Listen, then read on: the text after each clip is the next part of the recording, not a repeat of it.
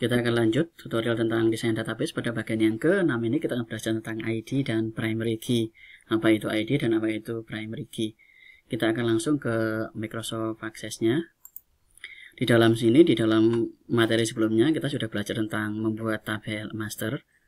Ada tabel barang, kemudian tabel kelompok, tabel pelanggan, dan tabel supplier.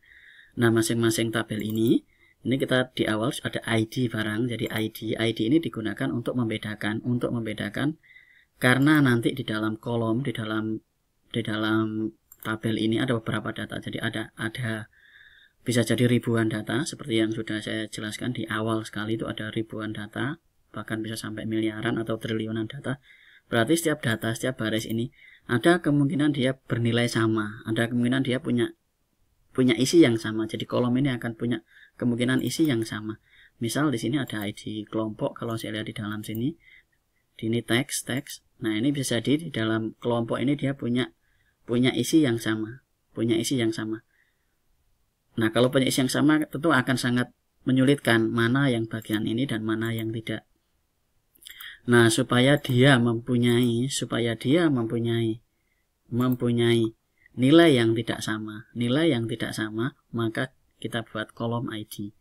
Nah, kolom ID kita akan letakkan kolom ID ini supaya supaya sederhana, supaya lebih mudah. Dia akan punya tipe data.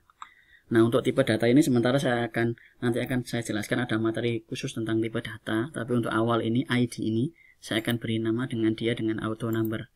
Auto number itu artinya isi yang akan diberikan secara otomatis oleh oleh aplikasi ya aplikasi database-nya. Jadi kalau ini oleh akses berarti.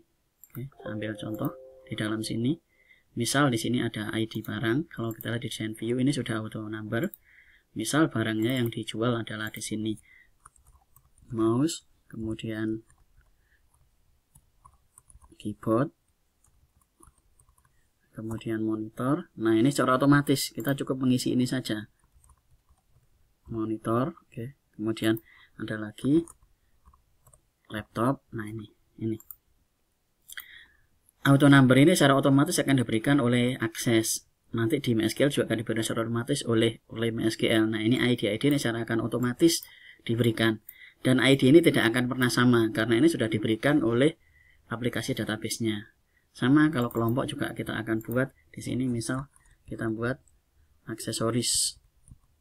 Oke. Aksesoris. Nah kemudian kelompok berikutnya adalah kita akan buat laptop misal. Kemudian ini komputer misal. Nah ini di sini kita akan buat kabel. Nah ini di di sini secara otomatis dia akan diberikan. Nah ini kita mengisinya. Ini adalah isinya. Kemudian ada pelanggan. Pelanggan ini juga kalau kita lihat di dalam sini kita bisa membuat membuat dia mempunyai otomatis dengan memberikan auto number atau number ID Nah, ini kita buat di sini misal pelanggan. Pelanggan yang pertama adalah Joni, kemudian berikutnya Budi, oke, kemudian Jono. Nah, ini seterusnya seperti ini. Ini ID ini secara otomatis akan diberikan oleh aplikasi.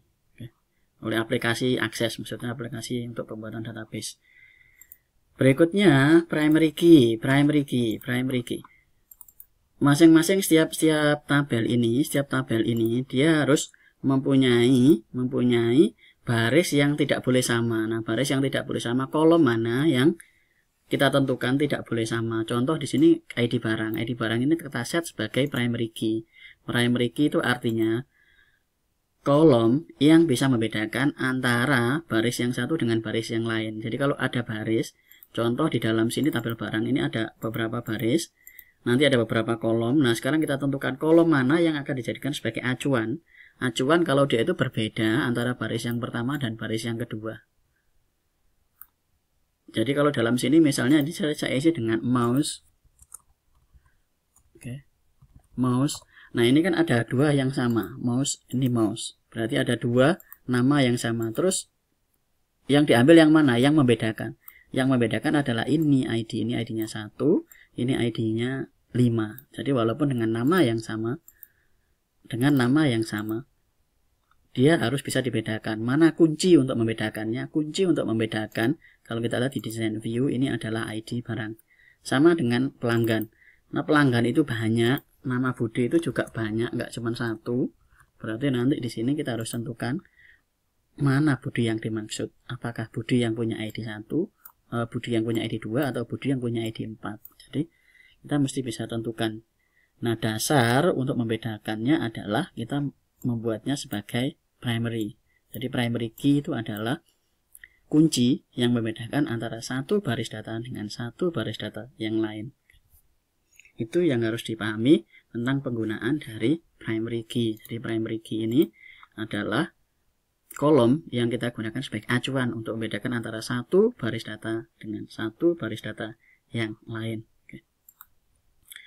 Itu yang harus dipahami tentang ID dan primary key. Oke.